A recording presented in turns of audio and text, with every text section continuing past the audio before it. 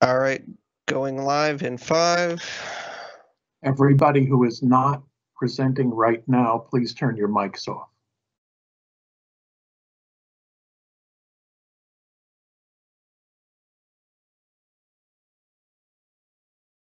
We're live. All right, I'd like to welcome everybody to the last content uh, session of the Petersheim Academic Exposition for 2020. This is the Department of Mathematics and Computer Science, Mathematics, Computer Science, and Data Science Student Research Showcase. And our first presenter is, as far as I can tell, not yet here. So we're going to go to our second presentation after a few brief announcements. The first announcement is that one of our department minors, Aishwarya Rai, has won one of the awards for her talk resulting from our core three course on logic limits and Christ, to, limits to knowledge and Christianity on Muslim anticipation of Western economics during the Islamic Golden Age. She received a $1,000 award to fund her attendance at conferences. And I will now turn it over to Professor Saccoman for a few words. Yes, hello. Uh, thank you, everybody, uh, for being here. Normally, this is our Petersheim afternoon. We would have our Charlie Frank Memorial Lecture, our Pi Mu Upsilon induction, and things of that nature. So I just wanted to, uh, building off of what Dr. Marlowe said, I'd like to announce the names of our Pi Mu Upsilon inductees. Uh, there would be junior Evan Ganning, I believe is at least the second generation inductee, Sarah Hutchinson, Brooke Mullen, John Mirzaku, Marie Sokol, Johan Potapara, and Wenning Wei.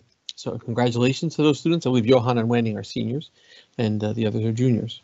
In addition, our department uh, was fortunate enough to have two of our students receive the prestigious Clare Boothe Luce Mid-Career Fellowships, and those would be Donna D'Alessio and Elizabeth Puskas, and congratulations to them. And finally, uh, one of our rising seniors, she's a junior now, uh, math majors, Sarah Hutchinson, received the Clare Boothe Luce Summer Research Fellowship for 2020. Thank you, Dr. Marlowe. All right, so we have a total of six presentations scheduled. One on mathematics, one on data science, one on a senior project that mixes data science and computer science, an overview presentation on our software engineering course, and a report on two team projects by the teams involved. I should mention that if you are a presenter, you should be able, or have been invited as a presenter, you should be able to use your mic to ask questions. Otherwise, you should use the question and answer window, which should be identified on the uh, screen you're seeing by a question mark in a box. And if you type your question, either I will forward it to the team or the team will respond in writing if their session is already over. Is our first presenter here, Christian?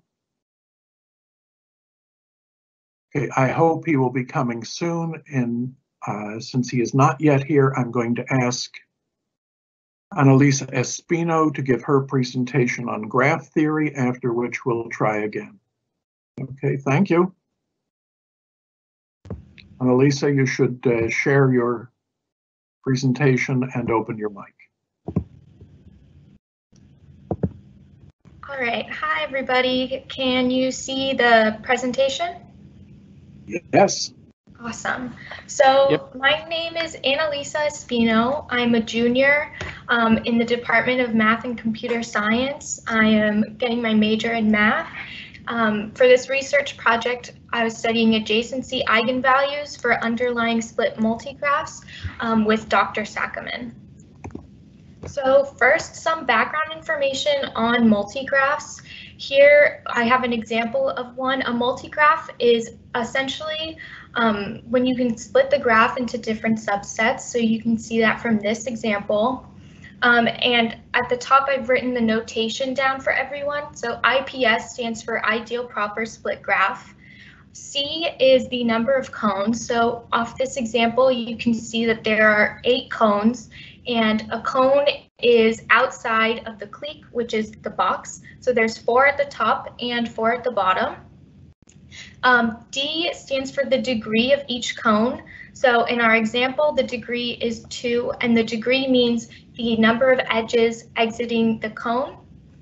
And we have mu, which stands for the multiplicity of edges within the clique. In this example, there is no mu. However, um, if we had a multiplicity of one, um, each node within the clique would connect to each other node one time.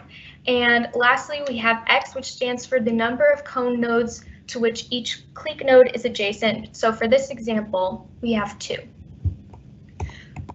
So our main research question was if these multigraphs represent satellite and ground station communication, so the satellites would be the cone nodes and the ground station being the clique nodes, could we find a formula to best represent the number of triangles from the ground station to the satellites? So the number of triangles is really important for um, satellite communication and triangulation, so that's why we were focused on the number of triangles specifically. So here's how we actually did this. First, we looked at the adjacency matrix. So here I have one of the smaller graphs that we studied and numbered all the vertices. And from here, we took the adjacency matrix. So the way you look at an adjacency matrix is, for this example, let's say vertex 1 is connected only to vertex 10, 11, and 12. So if we were to look at the first row, which is the row for vertex 1, it's all zeros except for 10, 11, 12, which are ones because it connects to those. And you go all the way down for every vertex. And for this example, you can see the dotted lines represent um, the mu, which is the multiplicity I spoke about, and each vertex in this clique connects to each and every one one time. So from there, we took our adjacency matrix, which is shown on the left, and we split it into four subsets. So the subset on the right would be the matrix um, for the clique nodes. And we're less concerned with these because we are less concerned with the ground stations communicating with other ground stations. We want to focus solely on the satellites communicating with the ground stations. So our adjacency matrix on the right is for the ground stations in the clique. So to actually find the number of triangles, we took the characteristic polynomial of our matrix. And you see the submatrix, we took our characteristic polynomial and we looked at the coefficient of x to the sixth because that gives us twice the number of triangles. And from there, um, we took that number and divided it by two to get the number of triangles within the clique. And those are the number of triangles with ground stations communicating to ground stations. From there, we took the same thing, but with the whole matrix, and we ended up getting 111 triangles. And since we're not concerned with the ground stations communicating to ground stations, we subtracted that number and ended up with 27 triangles, um, and that's satellites communicating to ground stations. So here we have our conjecture, and it's split into five parts looking at how we can find the number of triangles and how we can find the eigenvalues. So we'll look at it each um, section. First, for the number of triangles, um, we plug in the formula. So we take our x's um, our C naught and our mu's. And when we plug it all in, you'll see that we get 27, which is the same number we got when we plugged it in using the adjacency and the characteristic polynomials. So this held true for all the graphs that we looked at. Next are eigenvalues. So here in the middle, here's the list of all the eigenvalues for our conjecture part two and three, it's really only focused on the eigenvalues in that blue box that I made. So you can see that there are six eigenvalues of zero and six eigenvalues of negative one. And our conjectures two and three says that if we use our C naught times x minus one, it'll give us the number of eigenvalues that equal zero and also equal negative mu. So when we plug this in, we get three times 3 minus 1, which gets us 6, and that holds true because the multiplicity for these two eigenvalues is 6. For the fourth part of our conjecture, it is for the ones in the blue box. It says that there are two eigenvalues for the roots of this polynomial. So on the bottom left, you see the polynomial and we plugged in the numbers, and this is the same polynomial as our factored polynomial quotient of the characteristic polynomial. And from there, we take the use the quadratic formula and we get those two eigenvalues. And for each eigenvalue, there are they have a multiplicity of two, like we said in our conjecture. For the fifth part, we see there is uh, eigenvalues with the multiplicity of 1 for the roots of this polynomial. We do the same process again, and we end up with that polynomial being the irreducible of our characteristic polynomial, and our eigenvalues are 9 and negative 1. So in the end, we have this data here showing the number of triangles for all our graphs. Um, and as you can see, it increases and then when you switch the C value, so let's say IPS 930, the first one, when it switches to 1230, there's a dip in the number of triangles and then it increases again. So you can see that this pattern continues for all the triangles that we looked at. Are there any questions?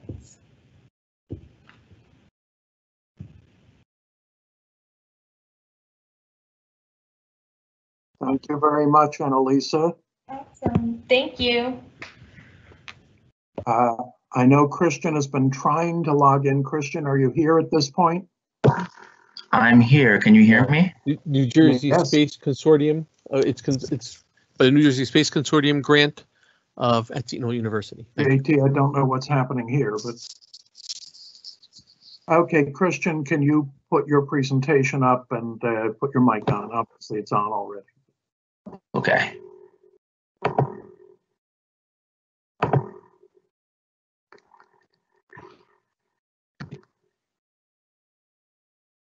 I am up. Can everyone hear me? Yes, thank you. Okay. We're hearing you. Perfect.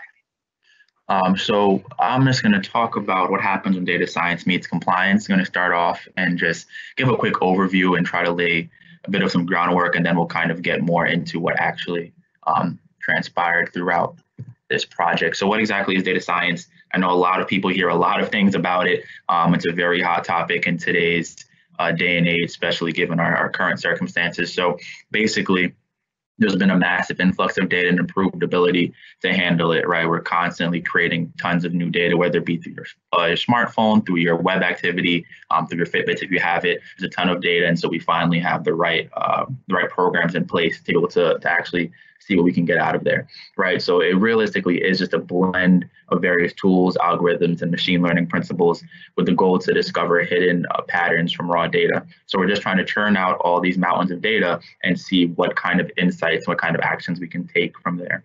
Uh, so it's primarily used to make decisions and predictions, making use of predictive causal analytics, prescriptive analytics, and machine learning. And so predictive analytics is basically just your, your model's ability to actually tell what's going to happen next right? So you can think about trying to predict if customers will make future payments or not. Then you have your prescriptive analytics, which is more of trying to give a bunch of different recommendations, right? So we have different levers we want to pull given particular uh, scenarios. And machine learning, artificial intelligence has just more to do with how do we do these things without the need for human interaction.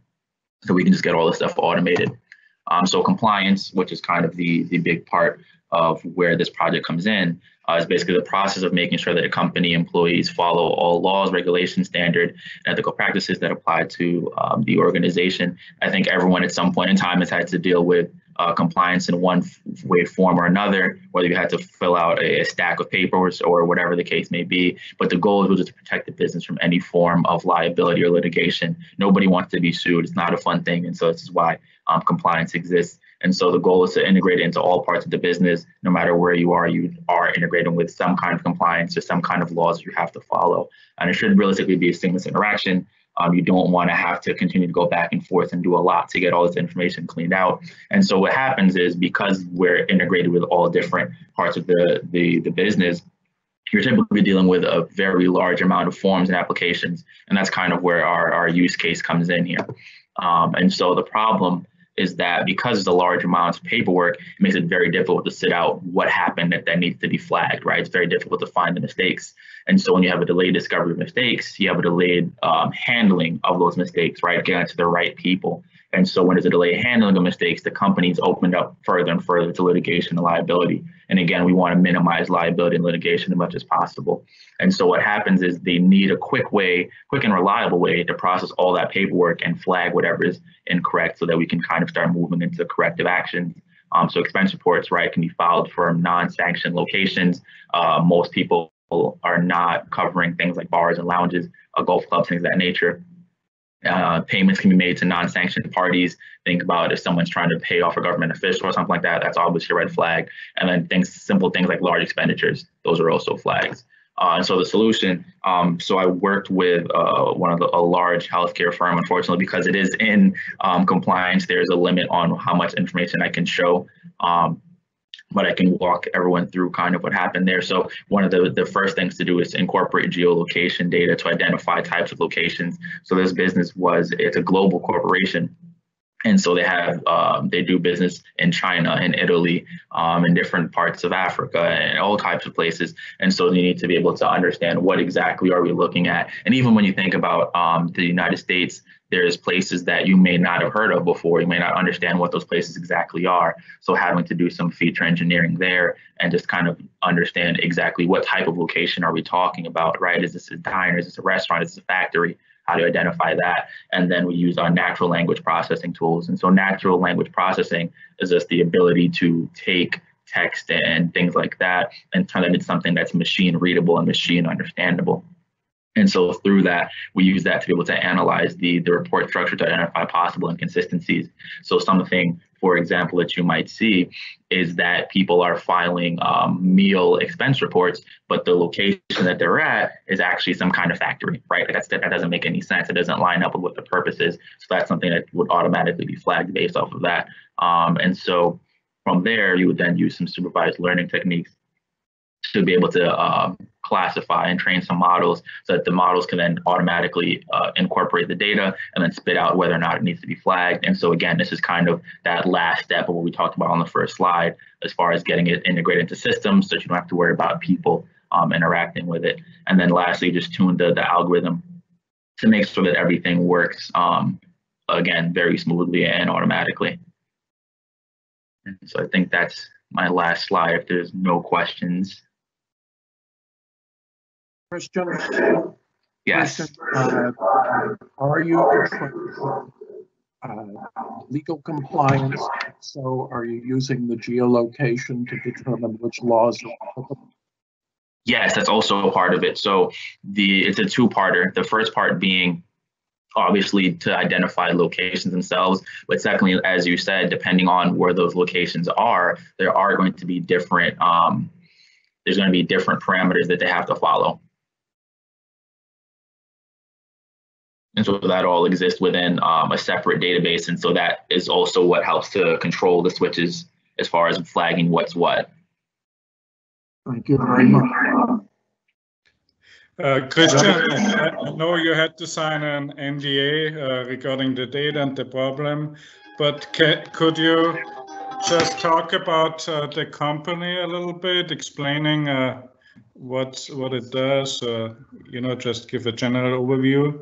Yeah, absolutely. Um, that that is not I can do that.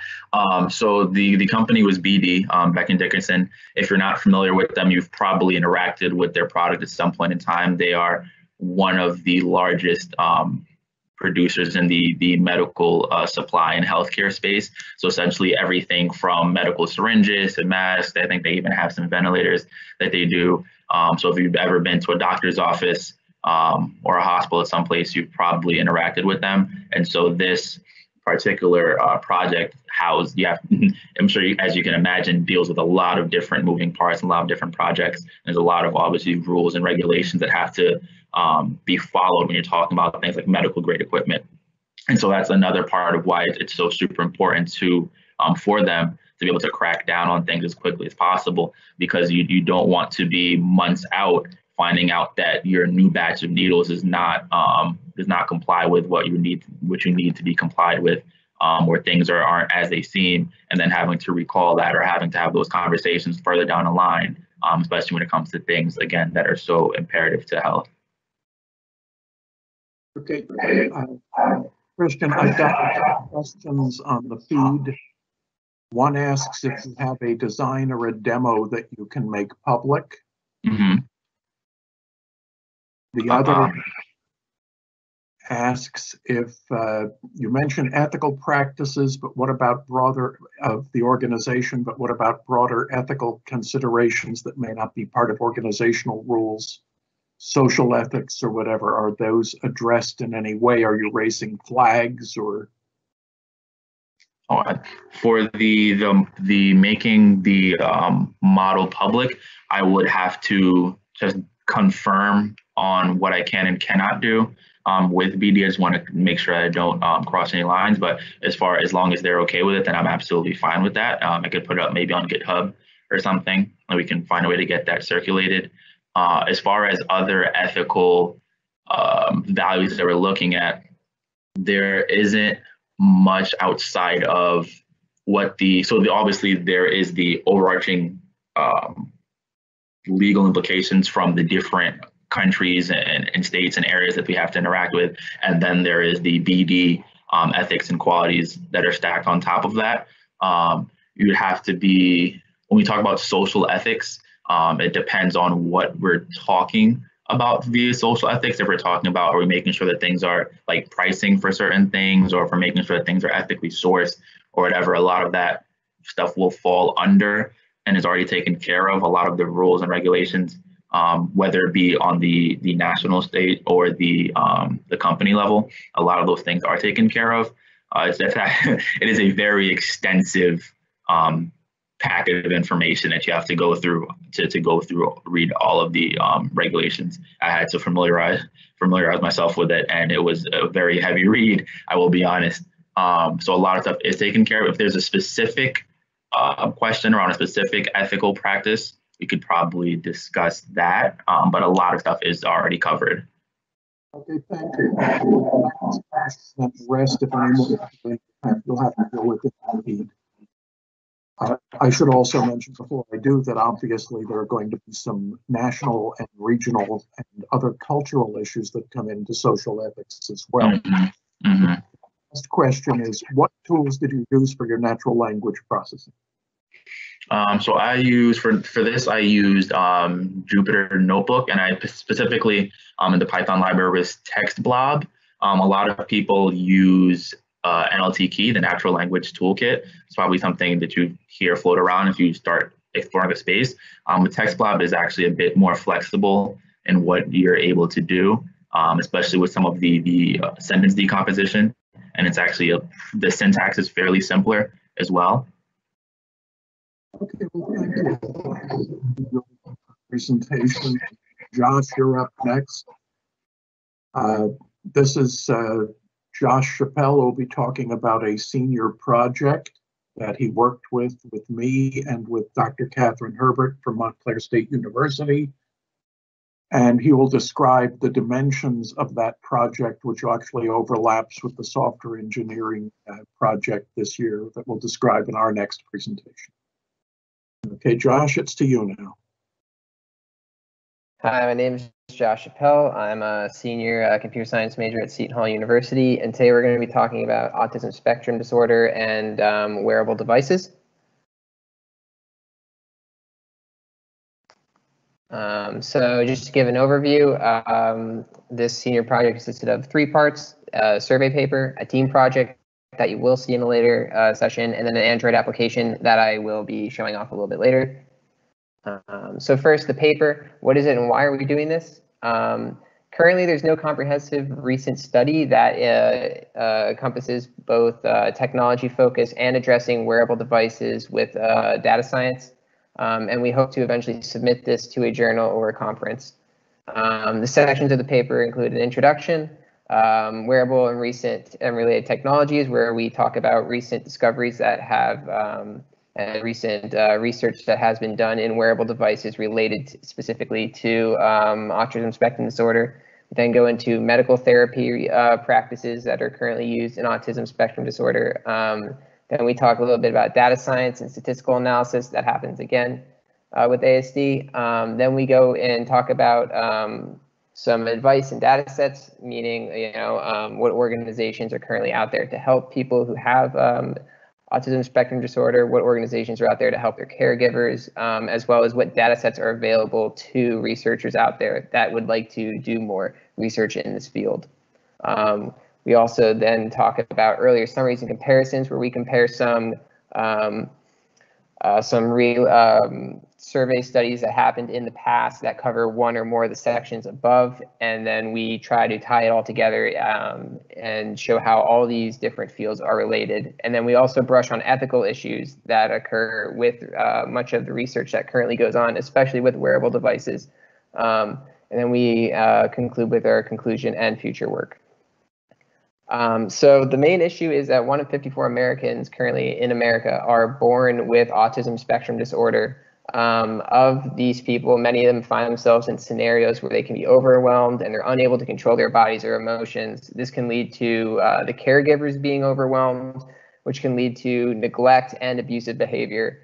Um, it's important to note though that both the neglect and abusive behavior isn't um, is usually just the side effect. They're not trying the caregivers aren't trying to do that, but they're not informed or uh, um, and they're uneducated in these steps that are needed to uh, calm uh, an individual with ASD down. So our proposal is to build a system that can detect in real time if an individual with uh, autism spectrum disorder is being overwhelmed, and if they are, we would like to relay that information to their uh, parent and caregiver giver so they can take the necessary precautions to calm them down. We want to be able to detect the error, the issue before it occurs, which will allow the caregiver to have some extra time needed uh, before the situation escalates. Um, and this system that we're building has four major parts. One is a wearable device that monitors vital signs such as location, um, also monitors uh, motion, and also provides um, an attention button where uh, it, the individual um, with ASD can um, like hit a button on their device so that they can say like, hey, you know, I'm feeling overwhelmed. Like you need to either help me get out of this room or you know help me um, you know calm down the situation. Um, the second part is a web server and a database to store the resulting information in. Um, and the reason we need that is for the next point where we're going to use a machine learning algorithm to determine if there is a normality. And then if there is a normality, um, we will alert the user uh, through a mobile uh, web application. Um, however, there are some issues currently with our prototype, and that is that we are limited to only heart rate monitoring since we are using Fitbit as our wearable device. And we are also um, limited to the data that the Fitbit API uh, allows us. This is an overview of how the application would look. Um, if you look in the top left corner, um, the Fitbit device, uh, the way it works is it sends heart rate data to the Fitbit API server. And what we would do is we would have our own RESTful API server that also hosts an ML algorithm on it. And what we would do is we would um, authorize to the Fitbit API server using O authentication. We would collect data from their API, feed it into our database, and then the ML algorithm would work off of our database to determine um, if there's an abnormality, and if so, it would alert the caregiver on the mobile application. Um, and then, as I said earlier, there are some issues that still need to be addressed with this prototype, especially when it comes to we have to be FERPA and HIPAA compliant. Uh, the data needs to be stored behind multiple layers of security because we are talking about some very sensitive data that we are trying to um, store into our database. Um, and again, we are limited by the current technology and um, current technology that is currently out there that is more advanced than the Fitbit. Um, it's not very comfortable or very socially acceptable. And that is, um, as we are going through a lot of research papers, um, a lot of concluding remarks were that like these devices that, that are out there um, that offer more capabilities are too bulky or they they don't look normal and the people don't want to wear them. So, you know, one of the things to strive for would be to make a device that looks sort of modern um, and up to date. And of course, there are the ethics that are involved with uh, this too. Um, you know, we are trying to house information and vital signs and stuff like that. But you know, how can we get there? Um, we need to make sure that they're comfortable with that. They understand exactly what they're signing up for, uh, et cetera. So unfortunately, um, I can't run the um, the device uh, live just because my computer um, is too slow. So it doesn't. Um, it's not going to allow me to run the emulator while also presenting. Um, but this is a picture of what the home screen would look like. It's again, it's a current, it's an early prototype. Um, you'd be able to um, add a user, um, and by adding a user, you'd be able to register your Fitbit with our server application, um, so that we could start scraping data from the uh, Fitbit API. So when you would click add, you'd go to this login screen for the authentication. And once you authenticate, we would be then able to grab some of your data. Um, and this is an example of what a data set might look like. We have your user, your user ID, and then for each day you have four data sets. Um, one is the um, fat burn, the cardio, the peak, and the out of range. Um, and all these data sets is currently what we're limited to. Um, again, we would that is one of the limitations of the APIs. We can't get super, super precise data, unfortunately. Um, and I would just like to acknowledge um, uh, Professor Chang of High Step Technologies, Father Joseph Flaherty, uh, John Saccoman, and uh, the Mathematics and Computer Science Department for um, all their help. Thank you. Before going on to questions, I should say that uh, Josh and Dr. Herbert and I intend to carry this project further even after he graduates and it's possible we might even start looking for some foundation funding to develop this. At least I'd like to hope so. Uh, any other definitely. questions or comments?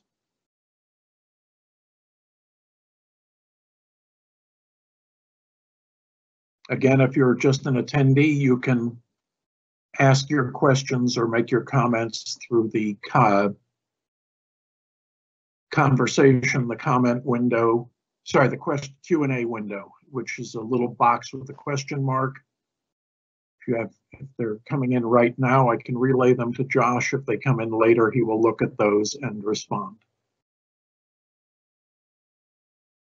Anybody? Okay, well, thank you again, Josh. And Yes, now I'm going to, okay. Anybody?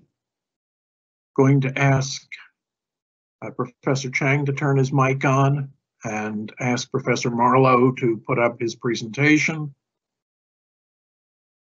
Okay, quickly. I think we can manage to do that. Okay, my mic is on. Excellent. So this is sort of a prelim to the next two presentations. We had a software engineering course that ran for a full year. And this was the full year uh, project. There were five groups. I'm going to talk a little bit about what the other three groups did.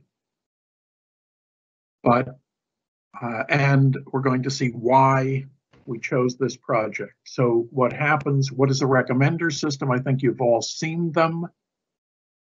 Everybody tends to get these. We're recommending these news stories for you. We're rec- uh, recommend Amazon is going to recommend these products for you. Somebody's going to say, hey, you might be interested in these articles. They use your past articles that you're interested in or anything else. They may have some records of where you've gone. They may have some records of what you bought, and they're going to use those. They'll make use of your user history preferences again. Anyone on social media, most people on the internet have seen these. And there are some examples here. I won't go through all of them. You can read through them as fast as I can. And if you've been involved in any of these, you will have seen them. Okay, what could be added? Why isn't this enough? Well, first, we could use some more specialized recommender systems, and that's what these five topics are going to deal with. We'd also like to give the user a little more control over what they receive. Ideally, and this is probably in the future for most of these projects, to allow some Boolean search to say, give me articles on software engineering, but not dealing with agile programs, agile methods. Provide some clustering search options that say, okay, you're interested in this, here are some interesting subtopics. Allow you to refine your selection, tailor your delivery. So you could say, give them to me once a day, or give them to me only when we log on, or here's what I think is most important, put these at the front. And limit some repeated delivery so you don't see things quite as often, but you do see things that are urgent or critical.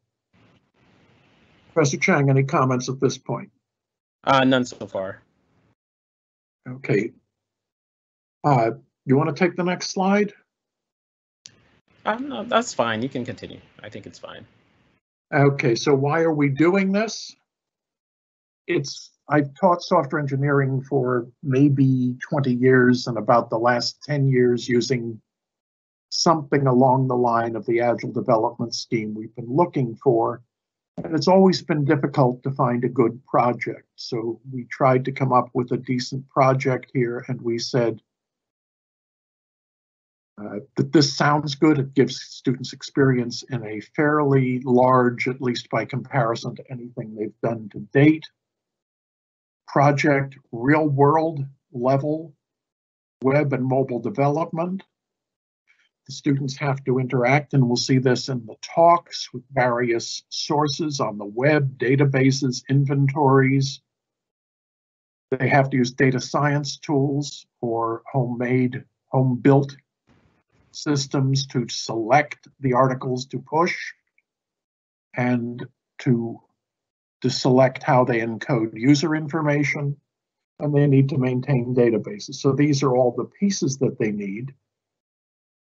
They have to look at recommendations. They had to go out and develop a business plan and a product vision and look at what they wanted to provide it developed technical skills. Okay, this is a little bit repetitive, but they were looking at all of these things. And at the end, you can see a number of software engineering challenges that actually got addressed or software engineering tools that they actually used. I should also probably add threading and distributed programming because I know almost everybody wound up doing something like that simply because the complexity and the time demands of actually running this thing is very are very intensive. It also helps the students develop soft skills that are going to be very, very attractive to the market. Work on a large project, develop a constructive coding style, really push on communication. It was a big deal both inside the individual teams and across teams. There's a huge emphasis. Everybody wants to hire people who have good teamwork and who are able to switch leadership depending on what task they're dealing with or who has expertise definitely has helped people refine. I've listened to some of these talks, their critical thinking, their analysis, and their ability to change what they're doing based on how things are working or based on recommendations or what the other teams have been doing. And to consider and address the social, legal, ethical issues, which came up again in almost every project. I don't say everything has been addressed all the way in everybody's project, but that's the way it goes. So this was a year-long project. In the first semester, I took the lead, Professor Marlowe, with Professor Chang occasionally coming in and helping, and Om Hashmi from Agile Brains Consulting, who's listening in, coming in for a very well-received guest presentation, getting a conceptual understanding of what was going on, outlining what they wanted to do, understanding the requirements, understanding user interfaces, and finishing the semester with an individual initial prototype. Professor Chang, maybe you want to talk about the second term. Sure. Uh, so then, uh, from the deliverables in the first semester, the actual uh, requirements and initial prototype, the goal in the second semester was, okay, introduce the students to how do you actually go from conceptually your ideas of a product to gathering your requirements to actually delivering, building a product and and exposing the students to real world development, incremental, iterative development, the various roles that uh, individuals play on the team, uh, product development team, and you know how you may move from your initial assumptions to see how your initial assumptions may drastically change or your requirements change as you gain more understanding. And uh, uh, those were some of the main things that we we kind of addressed and exposed the students to over the semester. And throughout Professor Chang, and I've heard him in a couple of the classes, was providing students with case histories, anecdotes, advice based on his own professional work in his company and other things that he's heard of. And I really know that the students have benefited an enormous amount from that. So we wound up with five projects. I must say, uh, the win, the PowerPoint design recommender did a wonderful job with this slide. We're going to go through very briefly a few slides on the first three groups. And the last two groups will present in opposite order with what they've done as separate presentations. So, uh, Professor Chang, Garrett, do you want to take over any of this? Would you like to do discussing these? I can do the cybersecurity and the. Uh, they that one's done. They're doing it their own. Okay. All right. So the every project is essentially, um, if you can go to the next slide. Okay, so essentially it's a tool that allows uh, users to search for uh, music uh, based on topics that they may identify with or sounds or that may sound similar to music they enjoy hearing or listening to. And uh, the the business goal of the the product itself is to give artists exposure to a larger audience uh, for their music. Um, folks that may not have known that and this artist existed or or had music that would necessarily uh, they would be interested in. The the goal of the product was to expose give the artist exposure to these these folks. So an overview of the project. Uh, this project was uh, essentially a platform where artists could come. They would upload their music, whether in songs or instrumental. Uh, the users would be able to create accounts in order to listen to music as well as add uh, music to their library and get recommendations on similar music based on their taste. Uh, it would incorporate profiles for users, artists, and advertisers. Uh, users can search for songs uh, about something related to the music they may like, uh, and, and or even pretty interesting is even the frequency of the music that uh, they would listen to. Uh, the technology, I won't go too much into the, the technology stack uh, as may be unfamiliar to folks listening, but the technology itself is based on a, fairly popular framework from Microsoft, um, ASP.NET Core. It's called uh, Razor Pages Entity Framework, and and the uh, analytics portion of it, uh, machine learning portion of it, uses a product from originating out of Google known as TensorFlow. Uh, the overall architecture for the project, the students tried to build uh, what's there are several approaches uh, that uh, we introduced the students to throughout the semester, and well, in the early part of the semester, in terms of approaches to building uh, software, modern software architectures, and each team picked a specific architecture and then attempted to build their software based on that architecture. And for this project, uh, they chose what's called uh, microservice architectures, which is fairly fairly new type of architecture that you're starting to see a lot of buzzwords around, but a lot of organizations are starting to embrace how to specifically build their services based on the microservice architecture. So for students, this is a great exposure. Okay, next slide. Okay, so the next project was a recommendation system for college articles. And basically, the team felt that people keep getting them bombarded by advertisements from colleges, but they would like to have some more objective information on colleges. So students and families could look and decide what college they might want to apply to, and for that matter, aspiring or current professors could look and see what colleges they might want to go to. Because when you're looking for a job, you don't want to apply to something that's completely out of line with your own talents or interests. And again, I can ask Professor Chang to comment on this. Sure. Uh, so the overall architecture uh, was uh, the front end of the application, the, the user interface, uh, was uh, built in a popular uh, framework out of Facebook known as React. And interesting enough is that you know one of the things we introduced the students to were modern authentication systems. We went over Seton Hall, for example, uses Okta. Many organizations actually use Okta. And uh, we introduced uh, the students to Okta and OAuth and how that process works. And actually, a couple of projects, actually, a couple of the students' projects implemented uh, uh Okta for their authentication system. Um, the backend is based on a Python framework for building uh, web APIs uh, known as Flask, and the underlying database was MongoDB, which is a popular NoSQL database outside of your traditional relational database realm. Okay.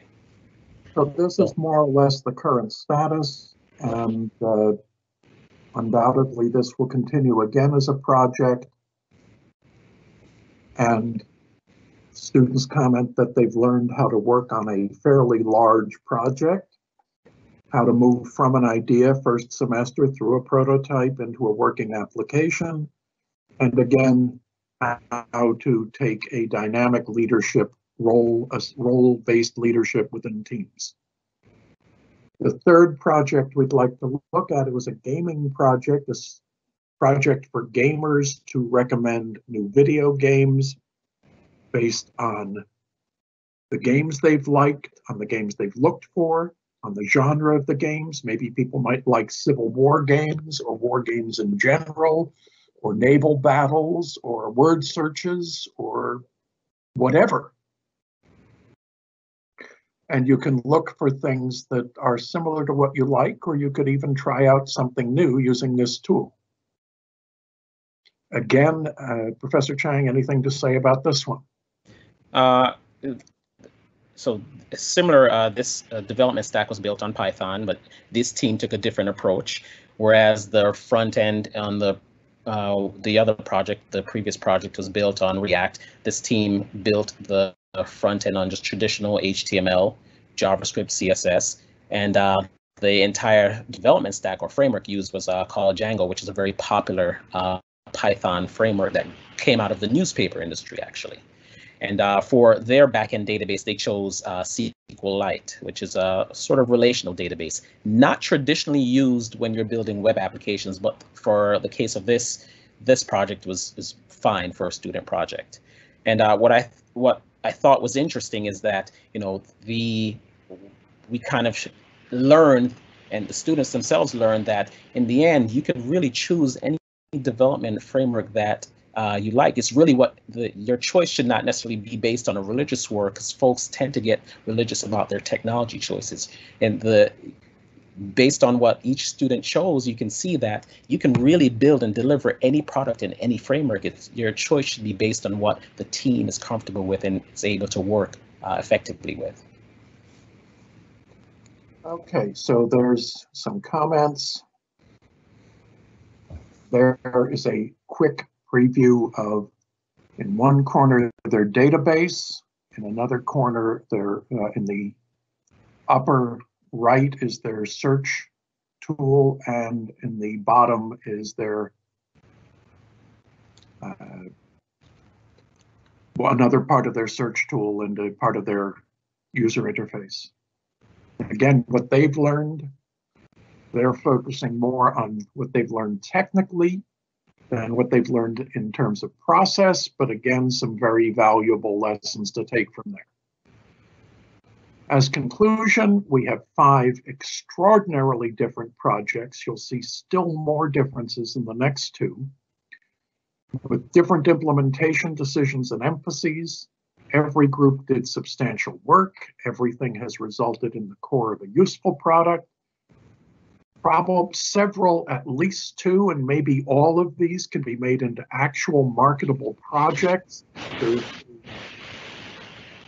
Going out, trying to get an enterprise to fund them, or by going, in the case of the autism project, to a foundation.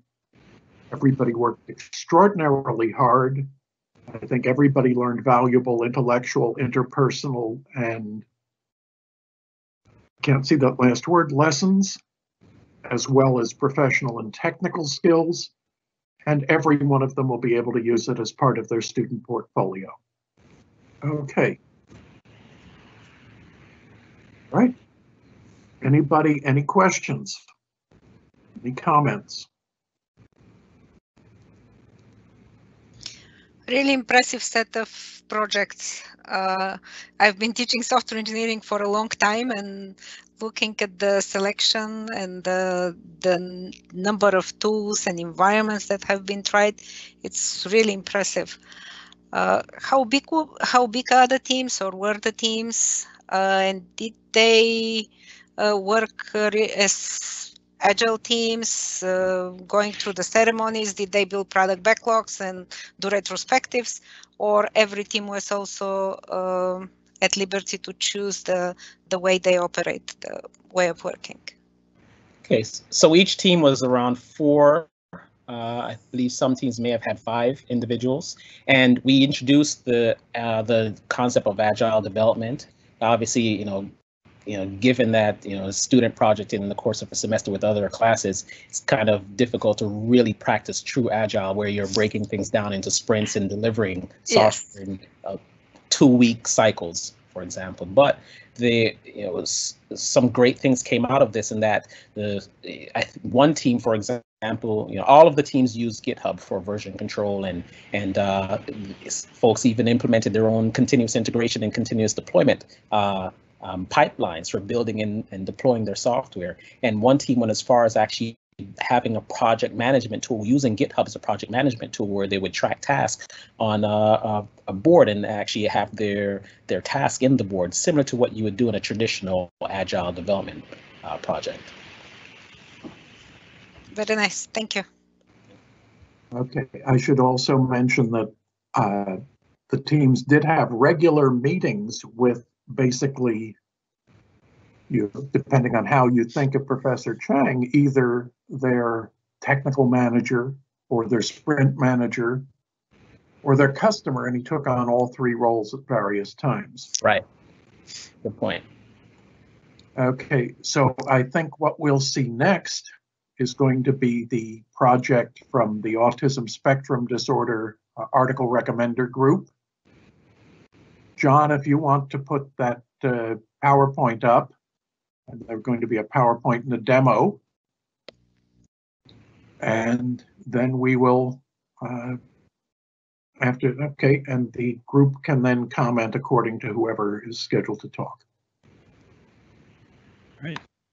Hi everybody, how's everyone doing today? Everyone can hear me, hopefully. Um, yeah. Yep. So, yes. um, my name is Sachin Mahashabde, and I'm here with this t- with our team uh, to talk about um, autism searches, which is a modern search engine for ASD-related topics. And before we get into more detail about the product itself, let's just introduce the team. So at the top of the team, we've got uh, Josh Chappelle, who's our project lead and head developer. Hello. Uh, we've got John um, Barelli, who's a full stack developer on the team. Hello. Uh, of course, uh, myself, Sachin, um, I was a backend developer and a machine learning uh, developer on the team. And last but not least, we have Jeremy Suero, who worked in the logo creation, database engineering, and design, and also worked on the user implement, uh, the user interface design. Hello. So, um, just to give a quick overview of what the application was like, um, it's it's a recommendation system for ASD-related articles, and it's a single-page application Uh, the idea here was to enrich the public's knowledge about autism, and we hope to enhance the ability for researchers in the field to access other articles that are scholarly about um, ASD. So the technical stack we used uh, was Python mainly for the machine learning. The slide, Um, sorry. All right, so the architecture we decided to use for our project was the layered architecture. We broke our project into four main layers being the control layer, the business layer, the data access layer, and the common layer. So our controller layer contains our endpoints for our RESTful API, and our business layer contains our business logic for the pro uh, for the project. More specifically, this layer houses the services for each of our controllers for this project, and all uh, it also has all the errors for the controllers as well as the services, and the machine learning, which Sach will go into later. Our data access layer houses our ORM for the project. This is split into two main folders, being model domain and repository. The model domain folder contains our database table models, and the repository folder contains the repository interfaces, which are mapped to data access objects. And in our common layer, we have all the code that is used between all of the previous layers mentioned, as well as our CSV reader and our fetcher, which will fetch articles and write them to SQL scripts for MySQL and for the CSV. Um, we decided to loosely couple our layers, which allows us to easily update our layers, easily swap them, or create brand new layers with ease of use. Um, and we use this layered approach because it is scalable to an extent and it's really easy to read the project and its structure when we're coding. Uh, so like I said, uh, this is the, we used uh, the following technical stack. Uh, Python was more for machine learning. Um, uh, we used uh, Java with Spring MVC for our backend. Um, JavaScript, React.js for front, with uh, JS and CSS also. Um, our backend uh, server was built in Java using uh, Spring uh, MVC. Um, each service within our business layer extends an interface, uh, which allows scalability and also allowed us to add new layers and service uh, easily. Um, we used aspect-oriented programming to link all the layers and use uh, the Jackson framework for serialization and deserialization of J- JSON files. Um, also in our application, uh, we uh, practiced object-oriented programming, um, favoring composition over inheritance whenever possible. And finally, uh, here are some of the design patterns we followed, which include uh, adapter and uh, factory patterns. Um, for the machine learning, which is also on the back end, uh, we use a periodically updating Python script. Uh, the data is pulled from these APIs, uh, which give us our articles, and then we use Python. And we use a simple uh, TF-IDF vectorization with cosine scoring uh, to generate recommendations based on the similarities between uh, the different articles. The results of those recommendations are then returned back to the uh, back end, and then we display those results to the user. Um, so we took a test-driven development approach um, as one of our core design principles. Um, so each layer, um, we specifically tested each layer using mocking and stubbing. Um, for those who aren't familiar with mocking, it's basically just a dummy object that we inject into um, that we inject into uh, an interface, and then it basically, when we call that interface, instead of so for instance, if we were calling the database and we wanted to make sure that we're getting information from the database, instead of having to rely on the data that's in the database, um, we would just inject a mock into that into that um, into that function call, and it would return the um, the mocked object instead. So this allows us to be able to substitute layers in and out easily, and still have not have to worry about rewriting our tests uh, every single time. Let's uh, move on to the application demo. John, that's you. Yep. So this is uh, our uh, login page. And before I start the login process, uh, we also have a, an About Us page with a nice quote. Um, explains about our mission. And we have our GitHub um, information. So uh, in our home page, um, as you can see, you have a username password. Uh, so first we'll want to create an account. So once you click it, it takes you to this page. In this page, you can uh, choose any image. Uh, we chose to uh, use a languages. Yeah, languages, yeah. Um, so use Java. You submit. Um, you can choose uh, username, uh, first name, last name.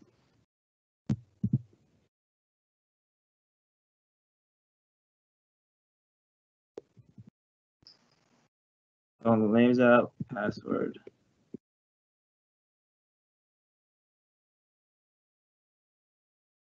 in the future or right now, uh, you get after you create an account, you get uh, an option to choose from which news sources you want to get your articles from. So you just uh, choose a couple uh, that interest you, and then after you click create account, uh, you, your account is created. Now you can log in using your username and password. In the future, we actually already implemented the Okta authorization. We just haven't it up yet, so that's coming. So after you sign in, um, you are in the homepage uh, where you see your username and picture on top. And the first thing you see is the recommended articles. Now these articles uh, are uh, hardcore embedded and they are like according to the uh, sources you chose while um, signing up. And uh, you can see there's a plus here. So let's say you you want to similar find similar articles to this um, article, you would click here. And then uh, on the bottom, the most similar article from all our database is, uh, is shown. And you could do this for every article and, and that way slowly accumulate articles that you like. And uh, in the future, you could uh, you'll be able to save them. And uh, also here you can see the title, the author, and if you click on more information, um, this tab uh, pops out and in the future we'll have even a link to the actual article. Yeah. Um, yep. And uh, in the nav bar atop, uh, there's the log out button. Um, there's the hamburger, which allows you to skip uh, between pages. So if you go to the starred topics, here will be the articles that you liked and stored. And these are the categories you chose uh, in the beginning. You will be able to add, but it's not working currently. You can also, you only the delete uh, function works currently. So you have to unstar these and then click delete and then it updates. Um, like I said, here you have the articles you liked. Um, you can also edit your profile, um, change a picture, change a picture, for instance, uh, update your username, all that once you're done updating information. And uh, it already has one information. Perfect. Um, yep. Anyone want to add? Yeah, so now if he logged out and he tried to log in with his original, it would be it wouldn't work. Uh, furthermore, that the search implementation will be added um, very shortly, um, where you'll be able to search and then the recommendations will come in based on the search um, parameters given by the user and um, weighted the results will be weighted based on the uh, preferred sources and topics that the user picks, along with articles that they've chosen in the past. Um, we do have some concluding remarks. Um, I guess I could show my screen um, one last time for that.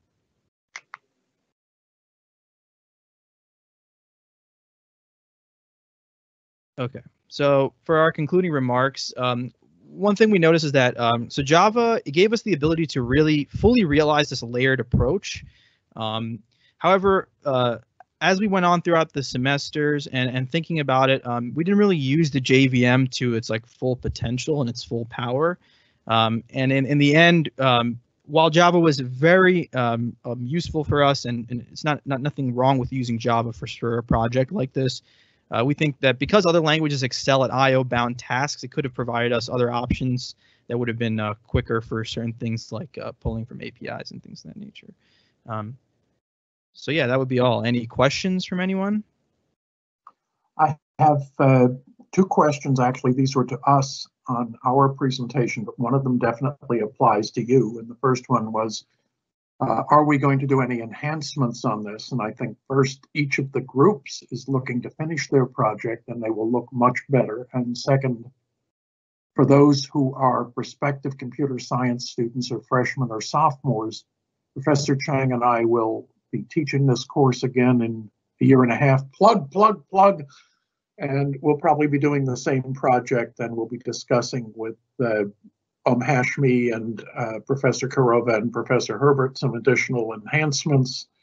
So anybody who is with us will see a even better project, I hope, in two years.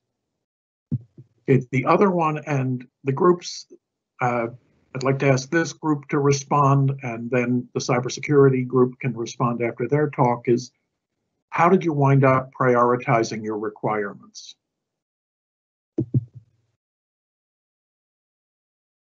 Um, oh, you can you can take it. Okay, um, so basically we sat down and and first um, actually sort of developed the layouts. Uh, um, actually developed out the UI layouts and thought exactly what the user was going to want, and we programmed um, around what we believed that the user would find useful. And um, so our layout way that way, uh, our entire implementation is focused around um, the user would would like. And Okay. also, we had an entire semester to really get it embedded correctly. So we- Agent asks, how, uh, you have any sense of how you could have used more of the potential of the JVM? Yeah, I mean, this the JP the JVM is best at CPU bound tasks. Um, we really aren't using any of those, um, so there's no really need. I mean, it, there's nothing wrong with using the JVM. It, it's it's a great uh, virtual machine, um, but like I guess if it would just be if we if we had used more CPU bound tasks, more heavy threading stuff like that. But we don't we don't use any of that. So yeah. Okay, well, thank you. Okay, any last questions, guys? Anybody? Okay, so we move on to our last group, which is uh, the cybersecurity project, and I think uh, Yep. Bert, you're doing the project from here. Just wanted Yeah, to thank so, everyone uh, for listening real quick. Thank you. Oh, yeah, thank you. Of course, of course. Uh, yeah, Bert, you can go ahead and play a video. Uh, thank you. Hello, everyone, and welcome to our project display at the Petersheim Exposition. Uh, this is our software engineering one and two project for professors Marlowe and Chang. Uh, the name of our project has changed slightly since we submitted the abstract, so you'll see that in the paper, but it's changed actually now. Our project is now called searchbreaches.me. Um, we just happen to find this very fitting URL available. Uh, so now on to searchbreaches.me by AJ Shah, Herschel Patel, myself, and Eric Gargiulo. A little bit about our project. Uh, so basically, the goal of our project is to connect individuals to pertinent data related to cybersecurity and breaches. Uh, we wanted to provide our users with information that's secure, up to date, and accurate, with an easy to use interface using our web application that you'll see uh, in the demo and then utilize a self-developed score-based ma- uh, matrix recommendation system that we're going to talk about in the slides, and then you'll also see that in the demo. Uh, some more information, we used Google's Golang programming language, so all of the backend um, uh, coding is all done using the Golang programming language. Uh, we projected uh, the project and hosted it using the Amazon Web Services cloud. Uh, we happened to get ourselves a few student accounts that allowed us to do this. And we, lastly and most importantly, have the recommendation system design that was built in-house and was inspired by the Netflix's uh, content-based recommendation algorithm. Uh, the last important thing that I want to mention is we use the Echo framework for web page generation, which again, you'll see in the demo.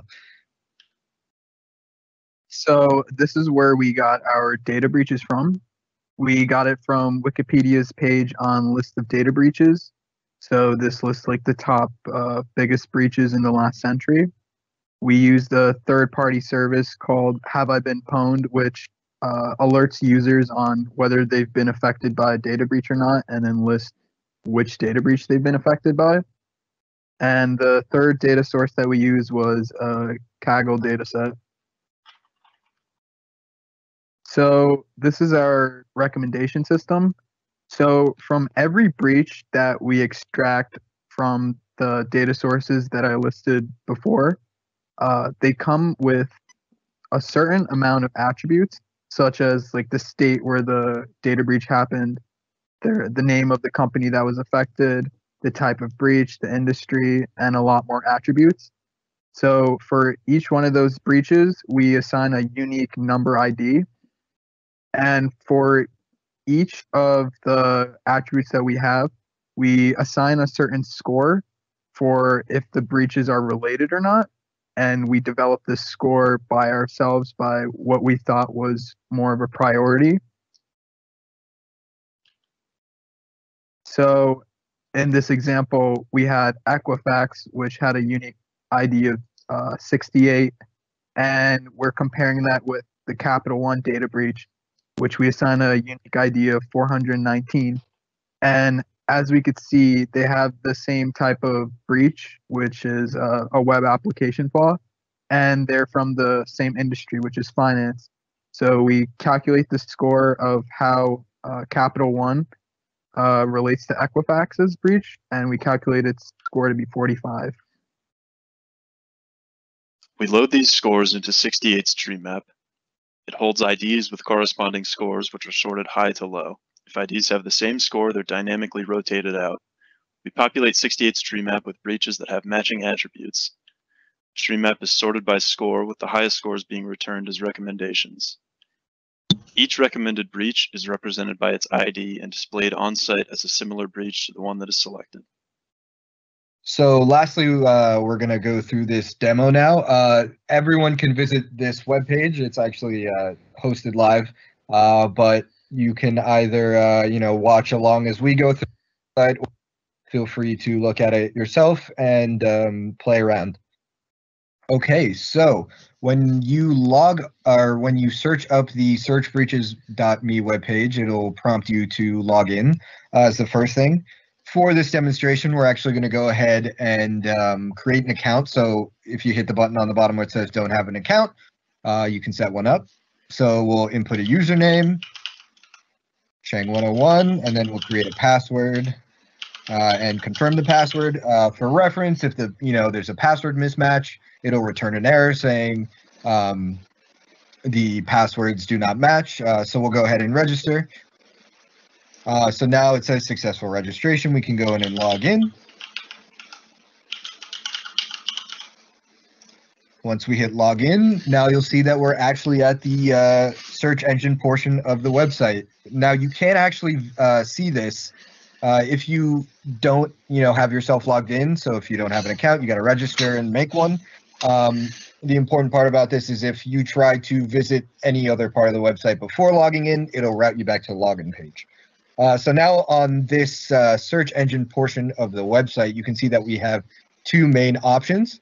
Uh, we have the option to search a breach and then also look at some popularly searched terms. Um, so for example, let's click a popularly searched term. Uh, say we click university. Uh, you'll see that the page uh, that comes up is now a listing of all of the related university uh, or all of the related breaches to the term university that was searched through our database.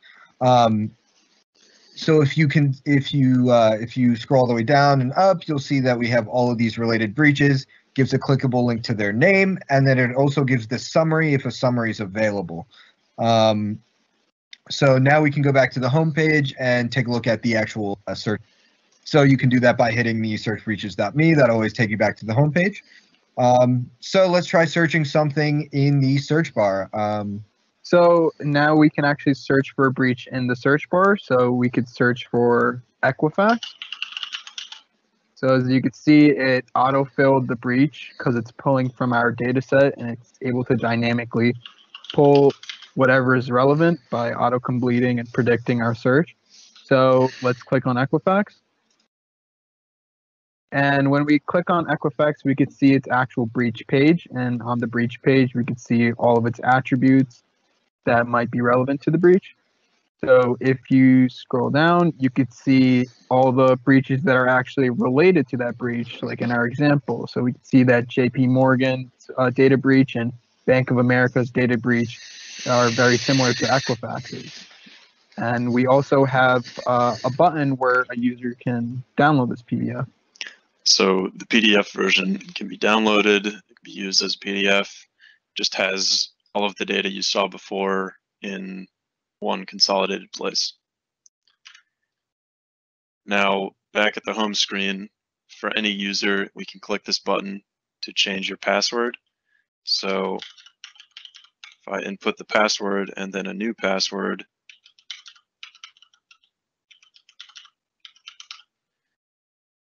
it will be updated in the database and then we can log in with Chang one two one zero one and the password which I've just changed and we log in as normal. Now here's a little bit about us. Uh, everything you see here was uh, built 100% by all three of us. And we couldn't have done it without the help of our software engineering professors, Professor Marlowe and Professor Chang. Uh, yep, just want to say a big thank you to them and thank you everyone for listening in. Uh, if you have any questions, um, we will be available now to answer them. Thank you. Thank you. Thank you. All right. Uh, so that was a pre-recorded video, but uh, we actually have a few more, you know, small things to add uh, based on some of the questions that were asked.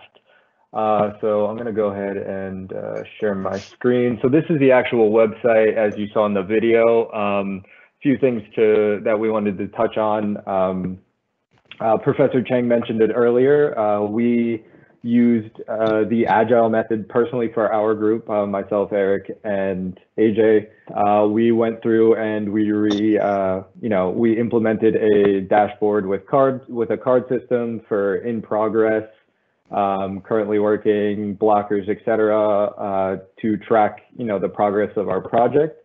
We also also use the uh, GitHub CI/CD tools uh, as a way to begin, you know, uh, continual testing of our work as we were going through it. Um, and then uh, I did, we didn't go super in depth on what each one of us did, but it actually says it on the about page for us right here. Um, so uh, myself, Herschel, I did a lot of the front end work. AJ was doing most of the back end development and Eric was doing, uh, you know, a lot of API management as well as the testing, uh, which we all worked on together.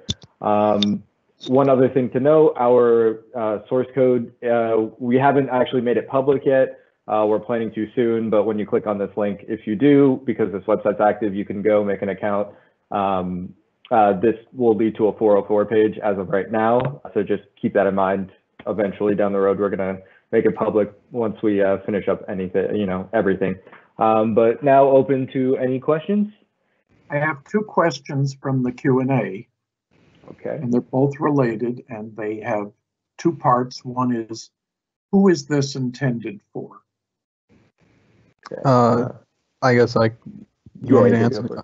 Yeah, go for it. Go for it. Okay.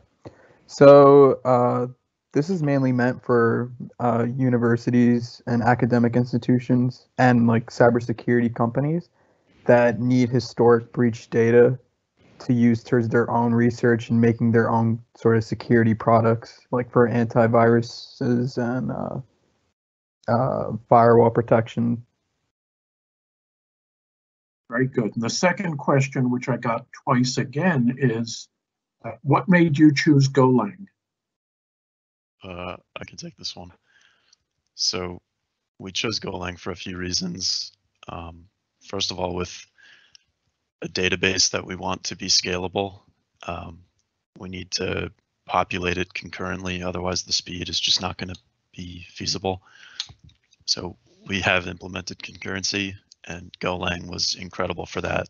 It's super straightforward to use concurrency with Go routines. Um, also, it's semi-object oriented, mainly functional. It, it made it very familiar, but really effective for this purpose. Yeah, another thing I would just add on was uh, Golang came with garbage collection, so we didn't really have to worry too much about memory management with our project. For the record, for those who don't know it, Go Go functions are going to be uh, what's also called futures. It will create a small thread that will implement, will execute that function and then return the result while the rest of the program is going on. Yeah, that was uh, super super helpful. Okay, any other questions, any comments?